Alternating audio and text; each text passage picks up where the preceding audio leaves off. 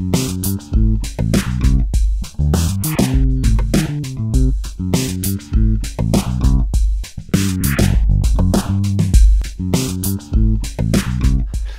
je travaille chez Accenture pour la fondation d'entreprise. On aide des gens à développer des, compétences pour trouver un, boulot ou créer une entreprise.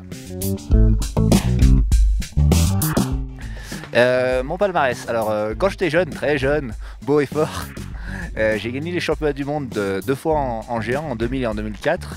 Et j'ai fait également deux médailles d'argent au jeu de Salt Lake City. Ça, les moins de 20 ans, normalement, ne connaissent pas. Voilà. Mon meilleur souvenir, c'est probablement mes deuxièmes championnats du monde, puisque je suis parti sur une première manche où j'étais deuxième, et assez loin du premier. J'ai réussi à, combler l'écart pour, pour gagner le championnat du monde donc en, 2004 là en Autriche, et c'était vraiment un super souvenir, une bonne sensation d'avoir fait la remontée qu'il fallait.